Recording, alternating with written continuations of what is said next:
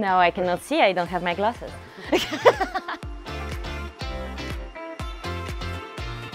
Eva. I'm a manager in the Global Trade Advisory team. I joined in 2016. I help companies with export controls and trade sanctions, which means dealing with sensitive products in sensitive countries or with sensitive business partners. I particularly enjoy the complexity of questions that we have to solve in our daily job and how we get together as a team to find an answer to these challenges.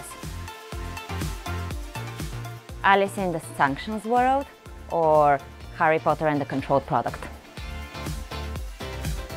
For example, to my grandma, I say, well, I help companies to find the people who they don't want to work with.